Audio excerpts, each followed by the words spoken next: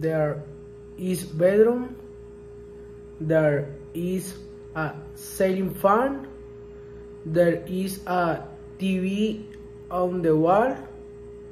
There is a smart window on the left side of the bedroom. There is desktop computer. There is a small table where there are school papers and some gloves.